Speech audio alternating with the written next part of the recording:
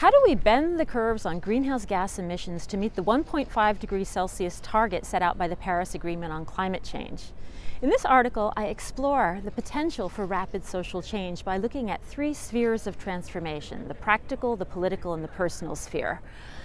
I show that together these two can contribute to dynamic and, um, and powerful leverage points for systems change. Drawing on social science and humanities research, I show that people are actually the most important drivers of social change. And I point out that if we continue along technical pathways, we're likely to lead to a dead end.